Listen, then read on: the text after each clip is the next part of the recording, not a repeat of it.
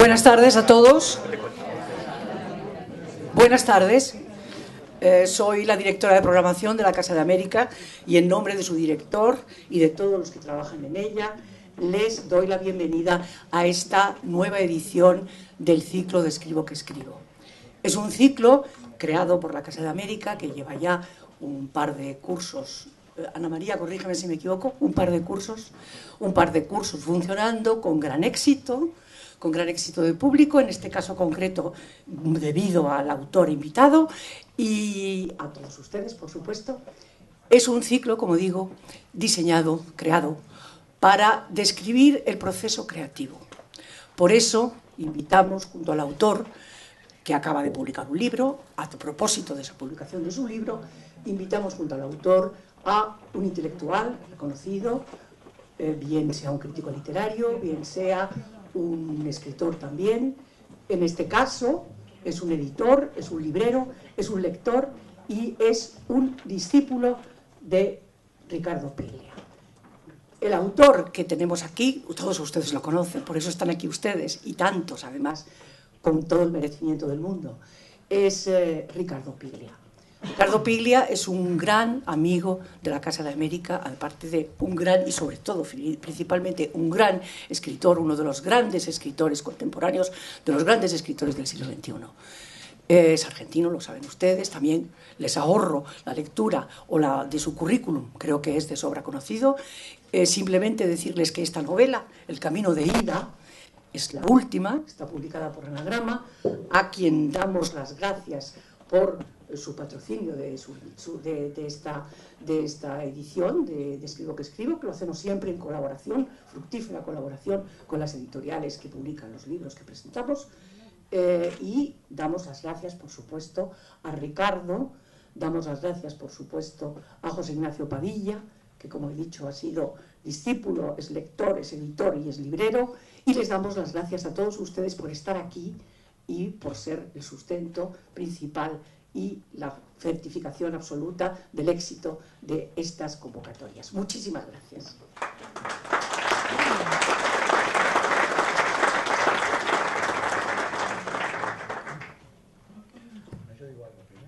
Bueno, por mi, por mi parte, antes que nada quiero agradecer a los que, que hayan venido esta noche. Me pone muy contento, hay muchos amigos. Eh, también desde luego quiero, quiero agradecer las palabras de Julia y el hecho de la existencia misma de la Casa de América, que ha sido siempre un lugar muy hospitalario para los escritores latinoamericanos en, España, y especialmente conmigo, que han sido muy generosos siempre. Eh, así que, desde luego, es un gusto estar esta noche aquí. Por otro lado, quiero decir que, yo no, diría que, José Ignacio, que es un, es un poeta muy fino, es mi discípulo.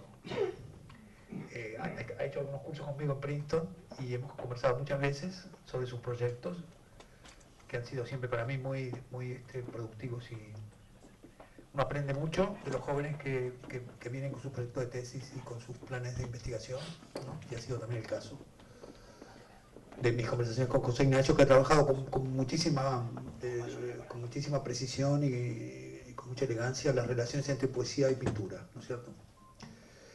Ahora por suerte está viendo Madrid, porque si hubiera leído antes mi novela, se hubiera borrado de Princeton, yo creo, ¿no? Hola, buenas tardes. quería agradecer a, la, Casa de América por, invitarnos a estar aquí, especialmente a Julio Escobar y a Ana María Rodríguez. Y por supuesto agradecer a Ricardo Pile que, nos ceda su tiempo y su energía. Em, yo tuve la suerte de, disfrutar de, Pila como profesor, es una persona tan, tan brillante. ¿no? Así que a ver si conseguimos ahora que nos, nos, nos ceda otra vez un poco de su brillantez. Entonces yo diría que empecemos por una pregunta típica que es la de los orígenes. Porque tú, tú eres historiador de formación, sí. Y luego has sido editor, sí. profesor universitario, sí escritor, lector. Entonces, ¿cómo es que uno se hace escritor? Sí, es una pregunta. Es una pregunta muy general que, siempre está en el aire, ¿no es cierto? Y creo que las respuestas son siempre muy individuales, ¿no? No hay un camino único. Eh, incluso habría que decir en Buenos Aires, esa, esa, cuestión se responde de una manera diferente quizá a como se puede responder en Nueva York o en Madrid. ¿no? Eh, la primera cuestión fue que había una tensión en mi familia. Eh, mi padre era médico, entonces quería que yo fuera médico, que fuera abogado, ¿no? Y entonces había cierta tensión respecto a qué iba a ser yo después, ¿cierto? Y, y entonces por fin hubo como una, una cuestión ahí hasta que conseguí eh, independizarme lo suficiente para irme a estudiar a la universidad. Y entonces ahí estudié historia porque en aquel momento no, no, el modo en que estaba enseñada la literatura en, la Universidad de La Plata, donde yo fui a estudiar, eh, me pareció que, era muy, muy poco interesante, para decirlo así. Mientras que el, grupo de profesores que estaba enseñando historia era realmente un, grupo excelente, ¿no? Grandes historiadores estaban en ese momento en La Plata enseñando. Y fue una experiencia muy importante para mí, la formación en historia. Eh, considero que forma parte también de mi formación como escritor. ¿no? Eh, el poeta Oden decía, un, si hubiera una, una universidad para poetas, yo, yo, les daría desde luego una serie de, de, de, cursos sobre gramática y sobre, y sobre métrica, etcétera, pero, pero los, los estudiantes tendrían que hacer la mitad de su carrera tendría que ser hecha en otra, en otra facultad, en otra universidad. ¿no? Tenían que estudiar veterinaria o, derecho, o lo que quisieran, para, para, tener conocimiento de otra cosa aparte de la literatura. Que parece siempre una buena recomendación. ¿no? En ese sentido, la historia está siempre presente en, las cosas que he escrito. ¿no? Eh, la, la, segunda cuestión que planteaba José Ignacio me parece que es muy importante porque tiene que ver con una pregunta que en general no se hace y es cómo se gana la vida un escritor, ¿no? Y me parece que muchas de las cosas que uno hace eh, tienen que ver con ese, con ese modo en que uno negocia la situación eh, mientras está empezando y entonces de qué manera puede ganarse la vida, digamos. Entonces hice las cosas que recién eh, José Ignacio nombraba y algunas otras más también. quiero decir que rápidamente empecé a trabajar como editor. El, editor que publicó mi primer libro me dio rápidamente trabajo, de modo que pude trabajar como editor. Y la forma en que, o el modo en que uno dice que empezó a escribir tiene siempre que ver con algún momento que uno considera que es el momento decisivo, ¿no? Que digamos, retrospectivamente lo ve como un momento decisivo. Y en, mi caso, yo lo he contado ya, es que, es que mi padre había estado preso cuando cae el, peronismo, mi, eh, mi padre que era peronista, encarcelado durante un tiempo. Y entonces, luego de, esa experiencia, en el año 57, nosotros, mi padre decide mudarse de donde estábamos viviendo, en Adrogué, que era donde yo había nacido, donde había nacido mi madre, donde yo me había criado también. Yo tenía 16 años en ese momento.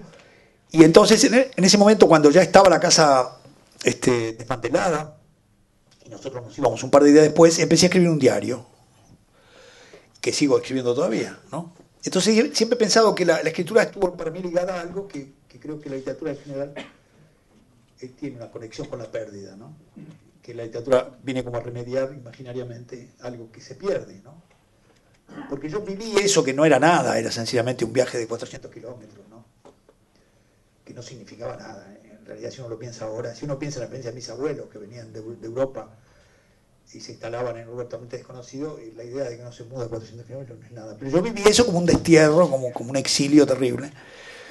Y me parece que recurría a la escritura como un modo de, de no sé, de, de, olvidar esa situación, quizá, ¿no? O de, o de dejarla registrada también, ¿no? Yo veo ahí como el, punto de, partida del asunto. Entre todos estos oficios, eh, digamos que el oficio de lector es, común, está siempre presente. ¿no? Y, Pila tiene esta capacidad para eh, leer escenas. ¿no? Acabas de, encontrar una escena. ¿no? Uh -huh. Y es una cosa que haces todo el tiempo, me parece que me imagino con tu vida, pero también pues, con la historia, uh -huh. para periodizar, hacer una periodicidad un momento, tu manera, la tradición, siempre eh, escenas. ¿no?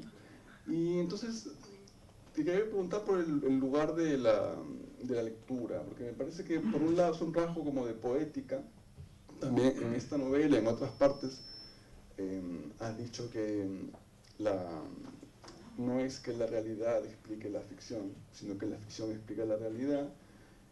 Y no sé si eso, eso tiene algo de una inercia, de una cierta autonomía de la literatura. No sé si eso es una marca de agua de la literatura argentina. En un sentido, para empezar por el final, ¿no? En un sentido yo creo que sí, que tal vez si uno tuviera que identificar algo que, que, nos permitiría diferenciar, digamos, en principio la literatura del Río de la Plata, digamos mejor, la literatura del Río de la Plata, de la literatura que se hace en México, que se hace en Perú, digamos, en la zona, incluso en ciertas zonas del norte, en fin, si, uno empezara a ver, o en el Caribe, ¿no? Si empezara a mirar eh, la literatura de América Latina o la literatura que se escribe en castellano desde ópticas eh, menos homogéneas, ¿no?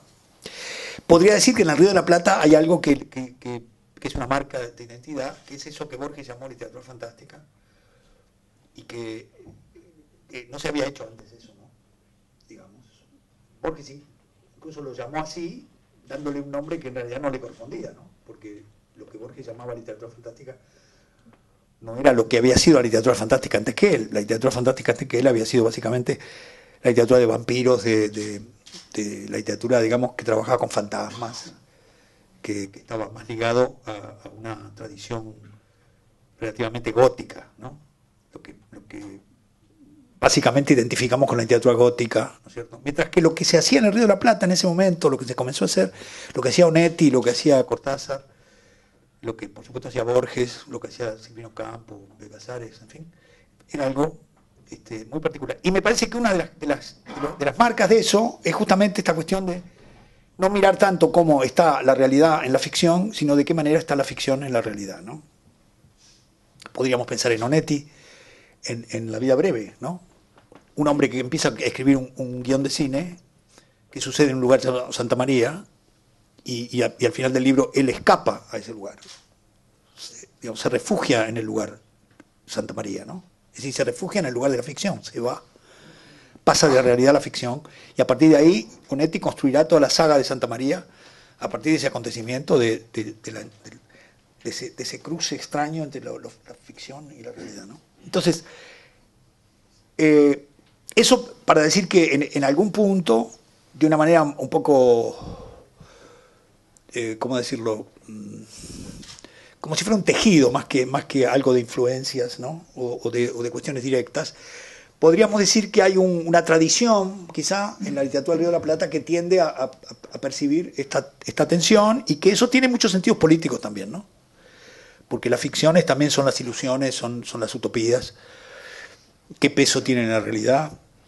Y también las, ficciones personales, ¿no? Que uno construye para ser más llevadera la vida, por momentos. ¿no? Entonces, me parece que ahí hay un, un punto. La cuestión de las escenas es, es, una prueba de, que José Ignacio es un buen lector, porque yo no, no había reparado en que, en que tal vez en, en, lugar, más lugares de lo que yo recuerdo aparece eh, esta idea de que en una escena se condensa un sentido múltiple. ¿no? No, no lo había pensado por de pronto en relación a ese momento que, en el que yo cuento cómo me senté a escribir en ese cuaderno. ¿no? Quizá las escenas, digamos, no, no, no, tengo muy claro, pero quizá eso de buscar en, la, en, en, la, en, la, en lo que uno lee ciertos momentos, ¿no es cierto? Ciertos momentos que, condensan un, sentido múltiple, que no son abstractos, que muchas veces son conceptuales, pero no son abstractos, ¿no? Eh, tiene mucho que ver con, con el modo en que la, la, literatura permite pensar, ¿no? Tal vez la literatura permite pensar en el sentido que piensa con ejemplos, piensa con, anécdotas, ¿no? argumenta, si uno usa el sentido más eh, etimológico incluso, ¿no? con argumentos, ¿no? en el sentido de tramas. ¿no? Quizá eh, la literatura también nos ayuda a pensar a través de ejemplos, ejemplos de anécdotas, de pequeñas situaciones, ¿no? tal vez eh, podríamos verlo de esa manera. pero bueno, eso también es siempre que alguien dice algo que uno no ha pensado antes, uno tiene que reconocer ahí marca de un buen crítico. ¿no? Entonces no, no, había visto esta historia que he contado muchas veces ya, sobre que en algún momento empecé a escribir un diario, no había visto que eso también era una escena, ¿no? que era una escena en el sentido de que condensaba eh, muchas cosas a su alrededor. Bueno, que los, los boomerangs siempre vuelven. Sí, ¿no? claro, claro. Eh, quiero insistir con la autonomía, porque Ah, la autonomía. hace poco leí un, un artículo de un escritor argentino un poco en broma decía que la literatura argentina es extraterrestre, ¿no? que no es latinoamericana, esa frase que se repite tanto.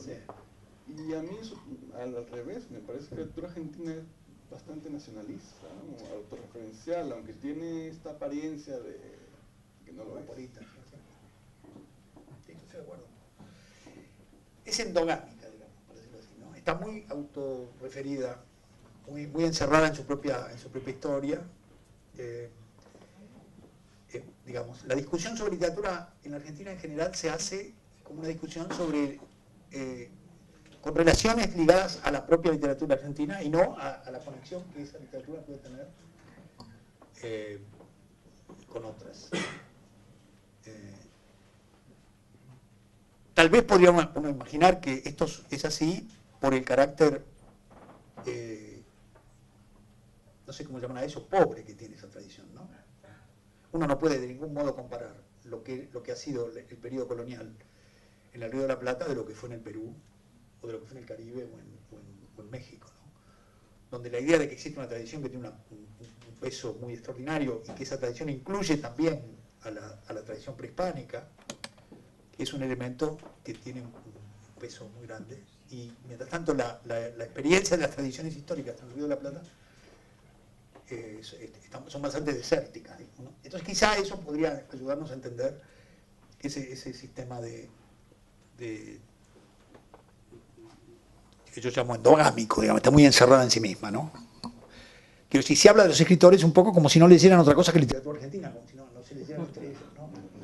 Es un poco ridículo, pero es así. Eh, incluso si uno exagera esta, esta crítica, podría decir incluso lo que se lee en Buenos Aires, ¿no? Porque también es cierto que hay zonas de la Argentina que están mucho más ligadas a América Latina, escritores como, como Tizón, pongamos, que, que vivía en Jujuy y que está mucho más cerca de, de, cierta- de ciertas poéticas que se hacen en, en- la zona andina de Perú, etc. o el, el propio Saer, ¿no? muy, muy interesado en una región como era el litoral, eh, y que es difícil encuadrarlo en lo que podríamos considerar la- esa tradición tan cercana a, a la ciudad de Buenos Aires. ¿no?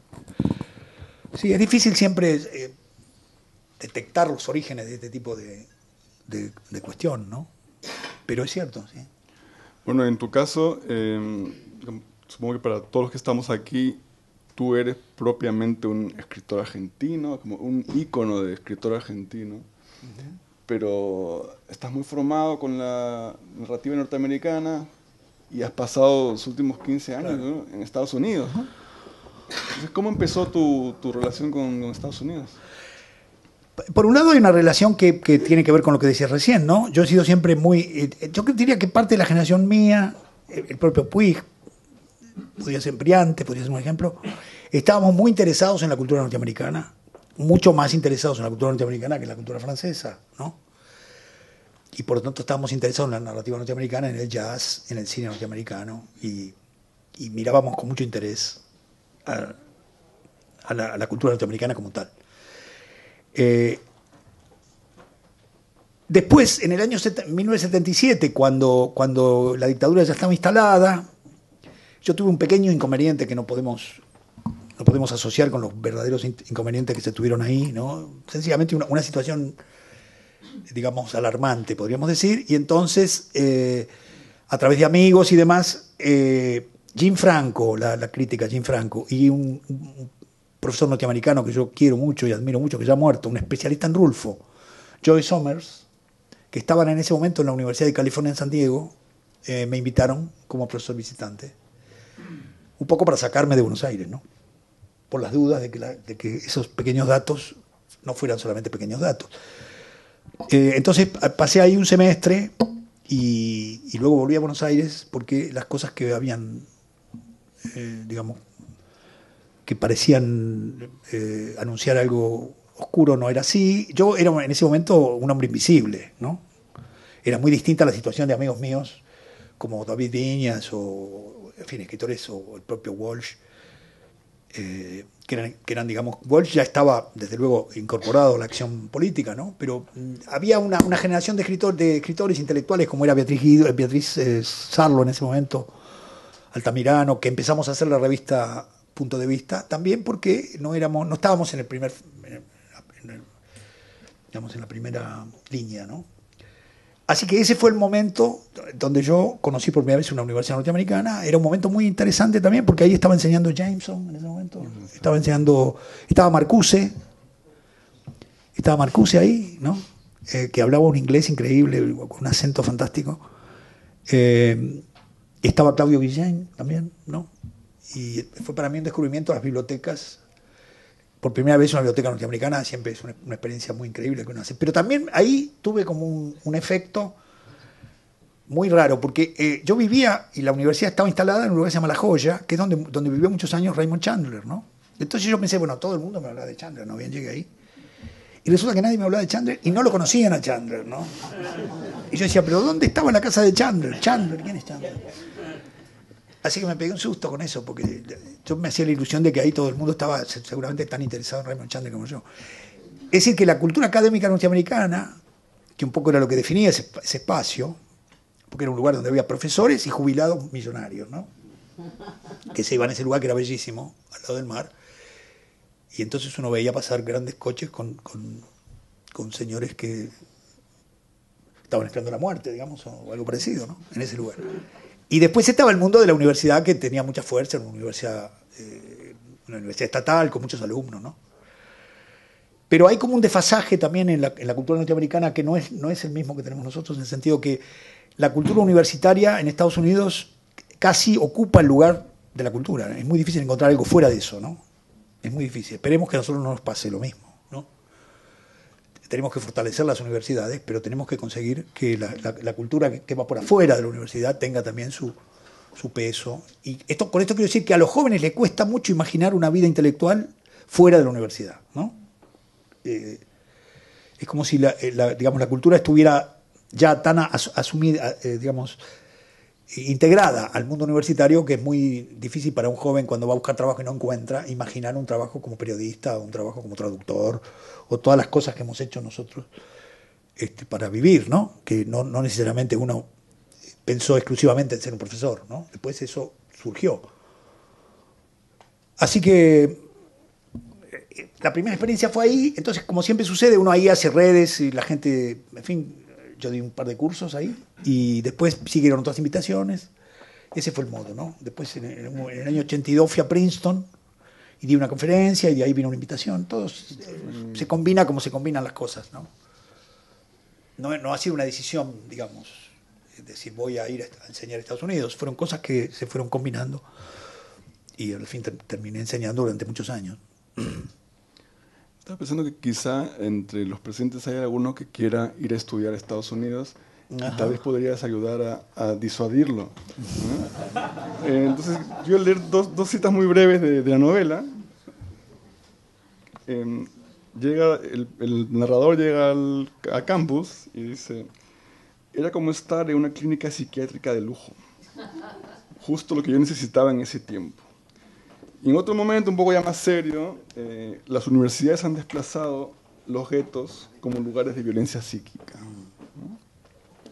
Entonces es curioso que, que, que, tu entrada para registrar la violencia norteamericana pase por estas instituciones de tanto prestigio y sí. tanto peso simbólico. ¿no? Sí. Eh, cuando yo fui, fui la primera vez a Estados Unidos, me, me, pareció encontrar decorados de cartón. ¿no? Y hay esta cosa fuerte que nos sucede a todos, pero quizá ahí suceda con un poco más de intensidad, de que las experiencias están mediadas por, por relatos. ¿no? Me parece que en Estados Unidos uno tiene la sensación de que las películas son profundamente realistas que la vida norteamericana, sí, generalizando mucho, ¿no? Tiene, tiene mucho que ver con una pel mala película. Sí. Por de pronto, la, la, bueno, no hay que tomar lo que yo digo en las novelas como recomendaciones, ¿no? Sería gravísimo. Hay, hay algunas recomendaciones que no, que no, que no recomiendo, digamos, ¿no?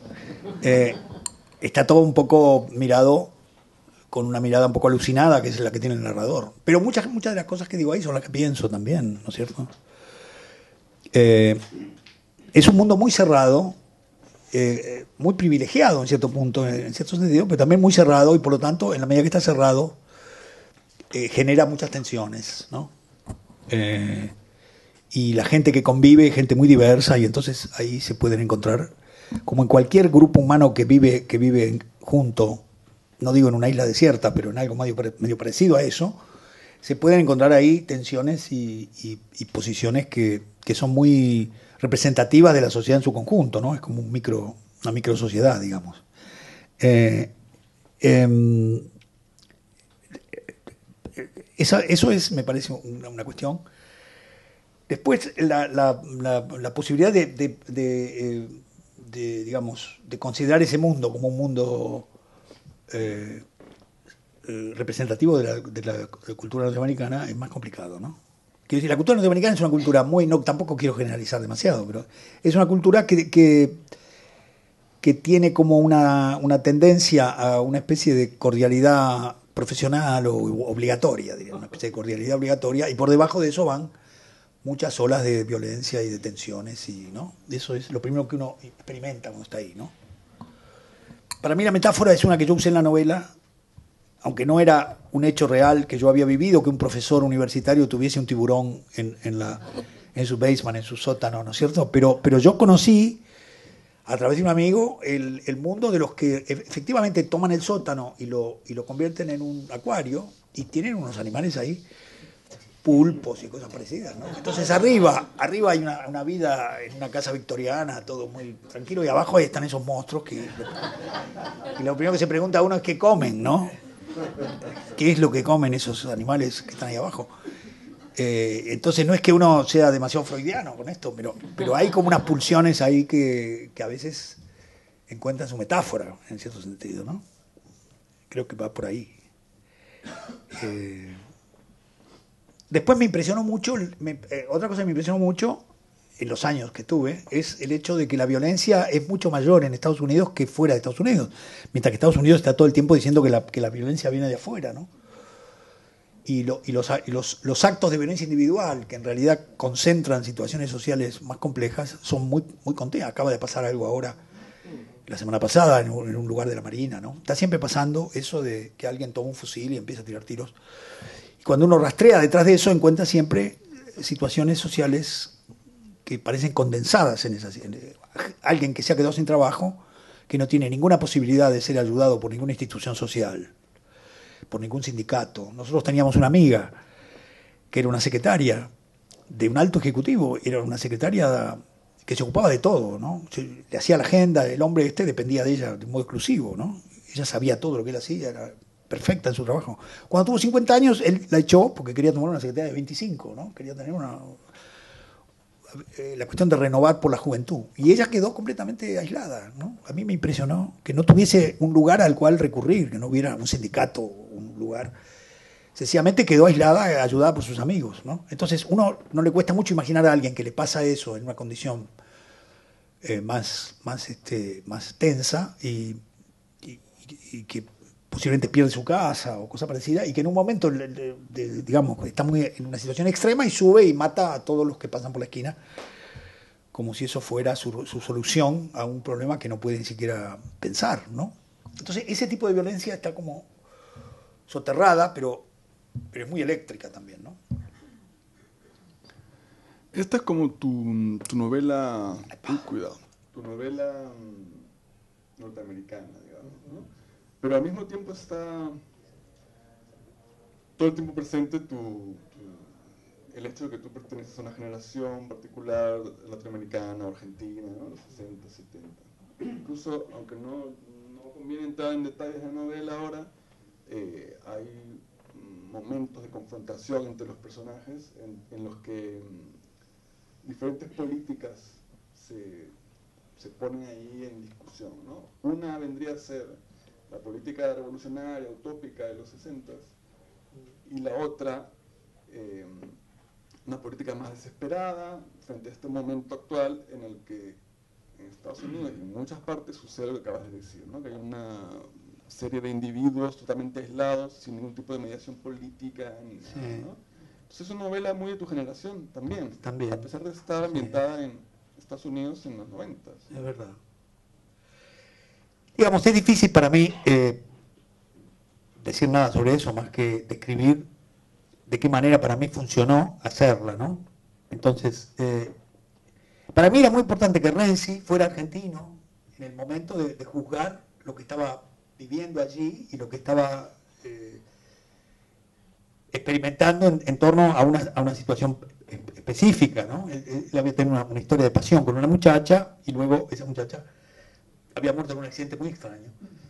Y ese accidente conectó esa muerte con otra serie de muertes que habían sucedido en, universidades norteamericanas, con lo cual conectó la, conectó la novela con la historia de una bomber, ¿no?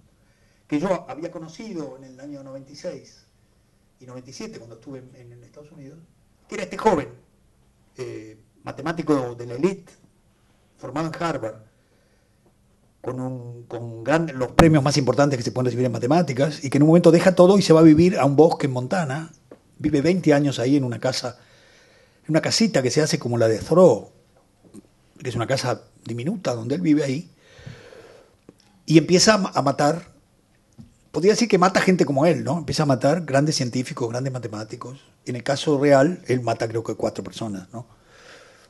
Entonces, eh, a mí me pareció una metáfora de una discusión sobre la violencia que entre nosotros, entre los hombres, entre la gente de mi generación y en Argentina, estaba muy está muy presente. Ha habido distintas etapas de la discusión sobre la violencia en la Argentina que han tenido distintos momentos, ¿no? Y, y entonces pensé que, no pensé, sino que me di cuenta que, que Renzi, que estaba contando la historia, estaba mirando todo eso con el filtro de su experiencia, era la mía también en un punto. ¿Cuál era esa experiencia? Yo siempre había criticado eh, la violencia política tal cual la habían encarado en la Argentina los montoneros y, y el ERP, porque me parecía que eso estaba militarizando la sociedad, y eso lo decíamos en ese momento, ¿no? Nosotros. Pero eso no, no, me, no me impidió ver que muchos amigos míos entraban en esa situación y era muy increíble ver eso, sobre todo un poco antes del 76, ¿no?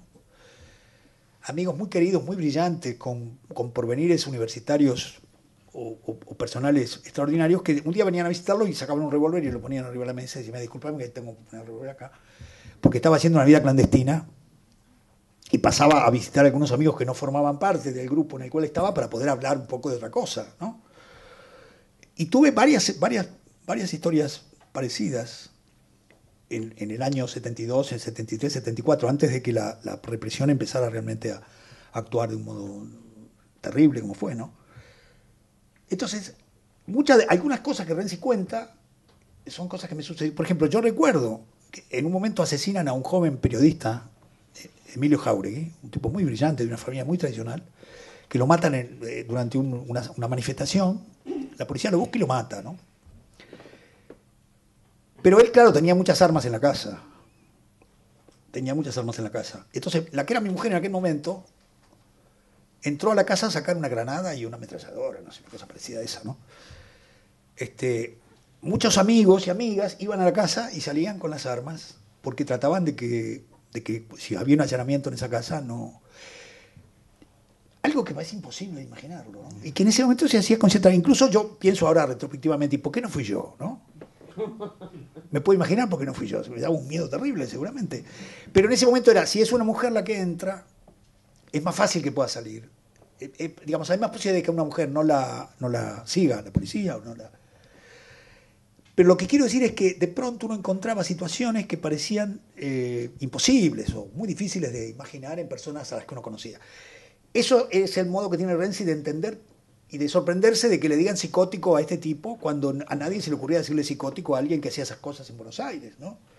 Ese fue el, primer, el primer movimiento que la narración encontró para poner frente a esos hechos una mirada que no fuera la mirada automática que, que uno, por ejemplo, nosotros vemos que a, a- a Snowden, el, el joven que, que puso sobre la mesa la cuestión de la vigilancia, ya le están diciendo, ya le están diciendo que, que tiene perturbaciones, ¿no? Y el, y el, el joven eh, soldado que, que también se tu- tuvo una reacción ética, ¿no es cierto?, frente a la cuestión de la, de la violencia contra civiles en Irak y que entregó unos videos. Eh, inmediatamente empezaron a decir que también, ¿no? Que, que se vestía de mujer, como si eso fueran características de su personalidad que explicaran lo que estaba haciendo, ¿no? Eso que sucedió ahora estaba en el, en el, en el, aire, digamos, de la cuestión. Entonces, eh, era como si, es como si Renzi mirara los hechos que estaban sucediendo en ese momento con una mirada que los ponía en un, contexto distinto, ¿no? Es ahí, porque después no, yo no veo mucho, mucha más eh, una posición mucho más decidida sobre la cuestión, ¿no? Me da la sensación. traté de que la novela no, que en la novela no interviniera mi- mis posiciones. Yo jamás he sido, voy a confesar, nunca fui un amante de la naturaleza y, no podría pasar más de 10 días yo viviendo en un bosque, ¿no? Pero sin embargo trataba al personaje con admiración porque me parecía que era un gesto realmente eh, que había tomado una decisión muy, muy este, extrema, ¿no? Entonces, lo que hay son algunos momentos, eh, algunos bastante parecidos a experiencias que yo tuve, que en distintas partes de la novela Renzi recuerda situaciones en las que alguien, amigo de él, eh, había pasado la clandestinidad o había empezado a vivir. Porque en la novela me interesó mucho la relación entre clandestinidad erótica y clandestinidad política. ¿no? La idea de que el erotismo siempre tiene algo que aparta de la, de la, de la vida cotidiana más, más estricta. ¿no? Siempre uno construye un espacio que tiene algo de un espacio más o menos secreto y más o menos alternativo, ¿no? Este, no, no necesariamente tienen que ser relaciones ilegales, ¿no? Pero hay siempre algo que es construir una especie de vida paralela que tiene que ver con el erotismo. Entonces, eso también eh, se empezó a asociar para mí con la cuestión de la vida clandestina, en el sentido de la gente que tiene doble vida, eh, en la medida en que está haciendo actividades, ya sea revolucionarias, terroristas o de violencia, ¿no? Me pareció que como tema narrativo era realmente algo muy de, mucha intensidad, ¿no? Yo lo he dicho ya alguna vez, a mí siempre me interesó escribir novelas que en lo posible estuvieran más allá de la, de la experiencia mía y de mis lectores, ¿no? Buscar personajes que estuvieran llevando adelante cosas que a mí mismo me, costaba entender. Y que la novela era una manera de acercarme a ver si yo podía imaginar cómo pensaban o podía imaginar qué sentían personajes que llegaban a ese, a ese, a ese punto. Y está este personaje en esta novela, pero en, en Blanco Nocturno es el personaje del que pone esa fábrica, ¿no? Eh, que yo conocí a alguien, pero apenas. Entonces alguien pone una fábrica y esa fábrica fracasa y él trata de no admitir que esa, fábrica ha fracasado y está en el medio del campo, una cosa... Eh, como si yo pensara que la novela tiene que tratar de avanzar en, en una dirección que, que va más allá de la experiencia que uno mismo tiene, ¿no? Tratar de ver si la imaginación nos permite. Entonces, me parece que un elemento que yo tomo en cuenta en esas situaciones de violencia es cómo vivía esa gente que hacía esa vida, ¿no? Muchos de ellos muy amigos míos, ¿no? Que, muchas veces tenían una vida, digamos, más o menos normal, y por abajo estaba todo ese mundo, y tenían empresas clandestinas o, lugares donde hacían armas, ¿no?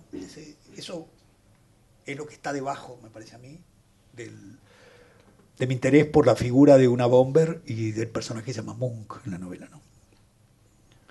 Yo mencionaba la cuestión de la política porque es que ahora está la cosa tan despolitizada Sí, en la ficción que, que llama la atención. ¿no? Sí, claro. Sí, sí, eso es verdad.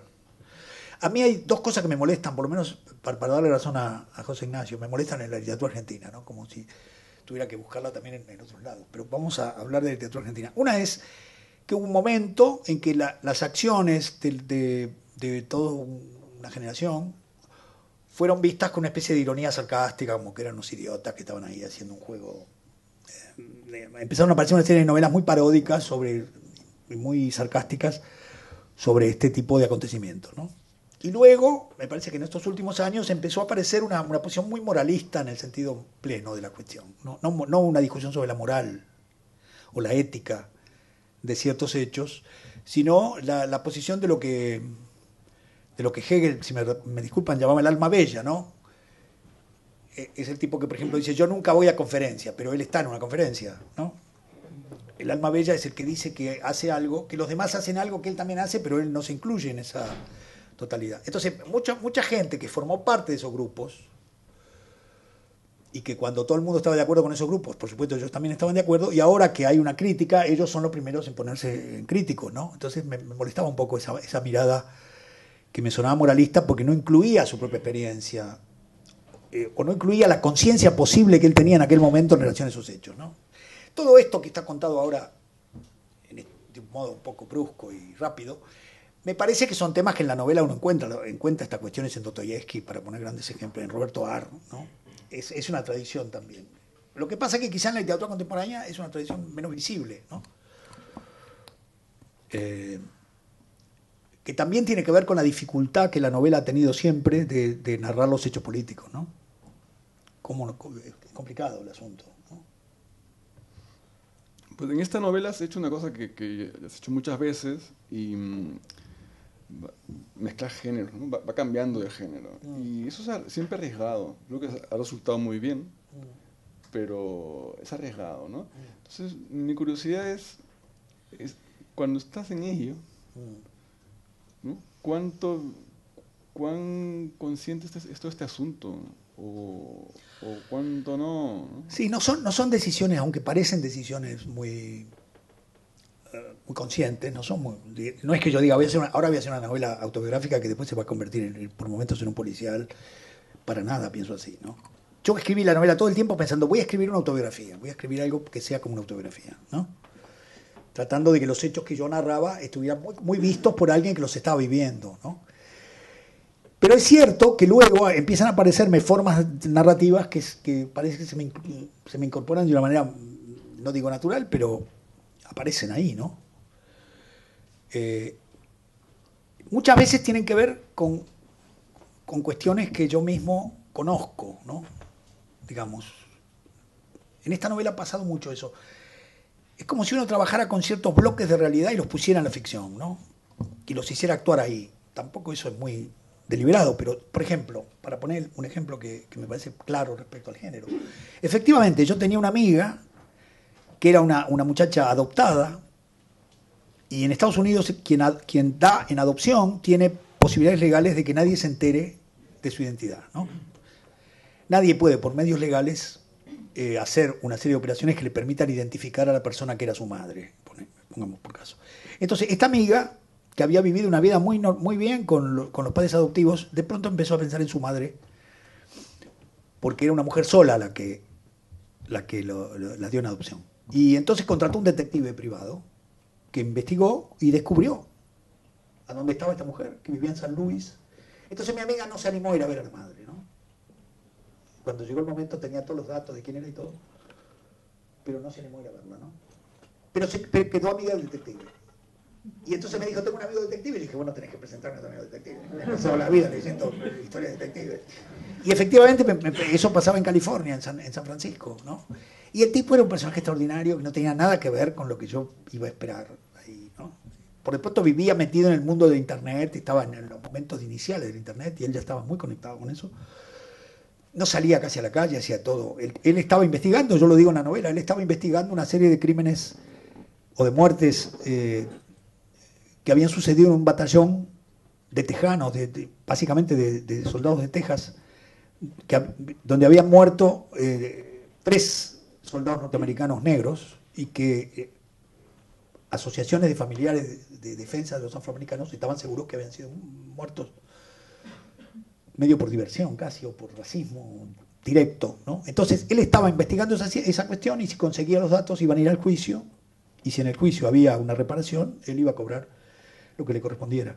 Estaba trabajando en eso. Pero era un trabajo hecho en los archivos, en fin. Entonces me impresionó y nos hicimos un poco amigos de él, ¿no? Porque la primera vez que estuvimos con él, eh, fue muy divertida la situación, porque él tenía una, una ex novia que estaba trabajando en una librería, ¿no? que lo había dejado. La mujer lo había dejado porque decía que él la hacía seguir. Y él me decía, yo la hago seguir porque él anda con, ella anda con un hombre casado. ¿No? Entonces ella no lo quería ni ver, ¿no? Y entonces él se enteró que yo escribía, ¿no es cierto? Y dijo, bueno, vamos a decir que sos amigos de Borges y la vamos a ir a ver a ella a la, a a a librería y después nos vamos a ir a comer juntos y por ahí, entonces las cosas se arreglan. Y eso fue el motivo por esa noche salimos a cenar y la muchacha, fuimos a buscar la librería, era encantadora. eh, la mujer no quiso venir a cenar con nosotros, porque, porque realmente estaba en tensión con este, con este detective que, según ella, este, no solo la seguía ella, sino a todas las mujeres con las que le habían dado antes, las hacía seguir. Eh, así que el personaje era muy interesante, ¿no? Y bueno, entonces uno puede decir, bueno, está el género ahí. Está el género, también hay una, en eso hay una... Porque entonces el detective me permitió... En la novela el detective funciona como el que le da información a, a Renzi de lo que está pasando con esa, con esa investigación, ¿no? Eh, ahora, volviendo a lo que planteaba José Ignacio, que está bien. En definitiva, en relación al, marco de, estas conversaciones sobre, bueno, qué, quiere decir escribir o, cuáles son los orígenes, eh, las decisiones que uno toma, un escritor, un narrador toma decisiones todo el tiempo, son decisiones que uno toma casi por instinto, ¿no? Ahora, ese instinto no, está, está, hecho de lecturas y de, cuestiones, ¿no? Entonces, eh, si las novelas mías siempre, siempre encuentran algo policial ahí, es porque el género me interesa mucho, ¿no? Me gusta mucho. Me parece un gran género, digamos. Como... Me parece un gran género social, me parece que, efectivamente trabaja muy bien el mundo social y también me parece que hace de la investigación un elemento narrativo muy fuerte, ¿no? Y, entonces las investigaciones me interesan mucho las novelas. una novela que empieza con algo que no se sabe, me gusta eso. Que el lector va con el narrador tratando de ver si puede averiguar qué es lo que está pasando. Eso siempre me ha funcionado bien. Ha funcionado bien a mí, no quiere decir que funcione bien después lo que escribo, pero me ha funcionado bien esa idea de estoy buscando algo eh, y, sé tanto como el lector. Eh, así que esa sería la, cuestión. Ahora leí un, par de entrevistas, porque han salido muchas, ¿no? han sido reseñas, entrevistas por todos lados, donde cuentas que esta novela la escribiste bastante rápido. ¿no? Y supongo que tiene que ver con que ya dejaste Princeton, estás de nuevo en Buenos Aires, estás más tranquilo, más tiempo. Entonces ahora que tienes más tiempo, ¿qué vas a hacer? Es cierto que escribí esta novela más rápido en relación a mis ritmos habituales y es cierto que tiene que ver con que tengo más tiempo libre. ¿no? Entonces ahora tengo tres proyectos, claro, tengo tanto tiempo libre que tengo muchos proyectos. Eh, algunos son proyectos anteriores a esta novela. Por ejemplo, tengo muchas ganas de escribir una novela con la historia de, mi, abuelo paterno, ¿no? que yo conocí, que se llama Emilio, ¿no? Eh, y que era un personaje del que yo tengo un recuerdo muy, muy, este, muy intenso, muy emotivo. ¿no? La historia de él es, la historia que me gustaría contar, ¿no? porque él viene a la Argentina y, es ingeniero, digamos, viene a Argentina y, instala una estación ferroviaria. Yo cuento algo de eso en Blanco Nocturno. En un pueblo de la provincia de Buenos Aires, y alrededor de ese pueblo, se hace, de, esa estación se hace un pueblo. Y él va a Italia, eso yo no lo contaba, no me acuerdo ya. Lo cierto es que él va a Italia y trae de ahí una, una mujer con la que se va a casar. Y ya hay una historia ahí, porque cuando él va, esta mujer, que es mi abuela Rosa, bellísima, tenía un novio en Italia. Pero mi abuelo arregla la situación con el padre, parece. Lo cierto es que mi abuela viene no con mucho, con mucha, no muy divertida, digamos. Y se instala en ese pueblo de La Pampa esa mujer, que era de Turín, ¿no? Eh, y tienen entonces una hija, que es mi tía Gina, tiene una hija, y, luego cuando, cuando mi, abuela queda embarazada de mi padre, a mi abuelo se le ocurre mandarla a tener el hijo en Italia, ¿no? Que no sería nada raro si no fuera que eso, mi, padre nació en septiembre del 1915, o sea que la manda en medio de la guerra, ¿no? Es una decisión demencial, ¿no? Porque estaban los submarinos, era una situación. La pone en un barco y la manda. Italia entró tarde en la guerra. De la guerra del 14, Italia entra en el 15, casi en septiembre, yo creo, ¿no? Lo cierto es que cuando estalla la guerra, él queda desconectado de mi abuela. Y entonces hace una cosa increíble también. Decide ir voluntario. Se presenta y va como soldado voluntario a Italia a la guerra. No puede ver a la familia, va directamente al frente y está ahí, después lo, trasladan a otra oficina y por fin mi padre me cuenta el día en que él viene y, una muchacha que está tirando un balde de agua en un, patio de tierra, levanta, hace, hace, el gesto y le dice, ahí está tu padre. Y él ve a un desconocido, que es un vestido de soldado, que es su padre. Es decir, que pasó toda la guerra hasta que por fin pudo encontrarse con su mujer. Y siempre me pareció. Y después que, termina la guerra y se instalan, vuelven a Argentina. y mi padre por eso nace en Italia. Y, siempre fue un enigma para mí. Hasta que mi madre un día me dio esos secretos de familia que se mantienen siempre en secreto, ¿no? Que mi abuelo tenía una mujer, que era una criolla, y que por eso mandó a, mi abuela a Italia y a la guerra, ¿no? La mandó a Italia sin prever. Este, ¿No? Entonces me pareció fantástico la idea de un hombre que se mete en la guerra por una cuestión amorosa, sentimental, mal llevada, ¿no? Entonces, frente a la épica de la guerra, aparece este hombre, que, pobre desgraciado, que va ahí detrás de su mujer porque se siente súper culpable, una especie de falso héroe, ¿no? Y, y, yo me acuerdo muy bien de él, digamos, porque, claro, había pasado la guerra también, ¿no? Entonces tenía como una carga con eso. Entonces tenía ganas de escribir esta historia como una historia de Renzi, ¿no? Entonces que Renzi está con unos papeles que son del abuelo, y que investiga un poco esa historia, y contada desde el presente, pero ver si se puede reconstruir, porque todos tenemos siempre la fantasía de escribir algo que tenga que ver con la guerra, ¿no? Entonces, pensé, por ahí se puede hacer algo con eso. Ese es un proyecto que tengo. Después tengo otro proyecto que está más avanzado, que son una serie de cuentos donde el protagonista es el comisario Croce, que es el comisario que está en blanco nocturno, ¿no? que es un, comisario de pueblo que está un poco tocado, como decimos en Argentina, ¿no? Está un poco. Eh, tiene como momentos de, no digo de locura, pero momentos muy extraviados. Pero lo notable es que con ese extravío eh, descifra todo todas las cuestiones que le plantean, ¿no? Con, hipótesis más o menos delirantes. Eh, consigue descifrar. Entonces se me ocurrió que estoy escribiendo unos cuentos que, donde él ya es una especie de mano santa ya para el pueblo. Entonces ya lo llaman por cuestiones que no son solo policiales, sino que lo llaman a descifrar. Cualquier enigma que ande suelto por ahí lo llaman y, entonces Renzi va, ¿no? Entonces eso me parecía, me parecía divertido, llevar el género a un lugar donde los enigmas no, no son gente muerta o situaciones criminales, sino cosas que la gente no entiende o situaciones personales, en fin, ¿no? Esos son los dos proyectos narrativos que tengo como más cercanos. Y después tengo ganas de hacer un libro de ensayos. Trabajando un poco, eh, sería como un, libro, digamos que haría como balanza con, el último lector, ¿no? Me, estoy interesado en ver cómo aparecen representados los escritores en las novelas, ¿no? Y entonces tengo mucho, mucho, ya, muchas fichas tomadas a lo largo del tiempo, ¿no? Entonces, ¿qué hacen? ¿Qué comen? ¿Con, quién se ven? ¿De qué manera? Como si fueran personajes reales, estos escritores que hay en todos lados y muchísimos, ¿no?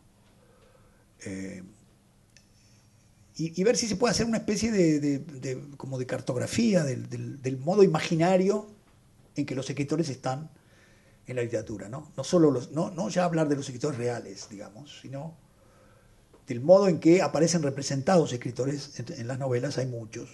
Eh, y como si, como si, digamos, se pudiera hacer una historia de los escritores imaginarios, ¿no? O un diccionario de escritores imaginarios, supongamos, ¿no? Que fuera una, reconstrucción de las vidas de estos escritores. Los hay en todos, en Faulkner, en Hemingway, en Onetti, en, Borges, en fin. Eh, entonces, la, idea sería, eh, no sé todavía con qué criterio, ¿no? Organizar el asunto, pero me, parece interesante. ¿eh? Tal vez me parece interesante porque me parece que en este momento los escritores estamos en, extinción, me parece una sensación, ¿no? Estamos en extinción. Quiero decir, eh, el estado actual de la literatura me parece que está tendiendo a, pensar en, un tipo de sujeto donde el escritor es más bien una figura, digamos, más bien mediática, una, una especie de figura que circula pero no, no está muy conectado con su propio trabajo como tal, ¿no? Y, el, debate sobre las nuevas tecnologías y el debate sobre el carácter privado o no de la circulación de los textos y ciertas tendencias a, una circulación abierta de los textos, donde por lo tanto la autoría no sería la cuestión central, eh, puede ayudarme a crear una especie de prólogo más o menos imaginario sobre alguien que está escribiendo un libro cuando ya no hay escritores, ¿no? Y que, entonces intenta ver cómo eran los escritores, pero seguía por lo que lee las novelas, ¿no? Eh, no hay que contar nunca los proyectos, ¿no? Es una maldición porque uno cuenta los proyectos y primero que después no los hace, entonces, segundo que los cuenta mejor de cómo va a quedar después, ¿no? Porque la gente empieza a imaginar y, y como son amigos, dicen qué lindo libro podría ser. Y de pronto pues el libro que sale no es eso, ¿no? Pero bueno, también me parece que, que forma parte del, del, modo en que los escritores hablamos de, lo que hacemos, ¿no? También hablamos de lo que nos gustaría hacer. Este, y, los proyectos tienen un lugar muy importante en la vida cotidiana de uno, ¿no? Son como, uno tiene a veces la sensación de que es como un, una pieza que está al lado, ¿no? Uno tiene que volver a entrar ahí, no irse de ahí. Entonces uno está viviendo, pero siempre está con la idea de cómo era esta historia que quiere, escribir, ¿no? Hay algo de eso.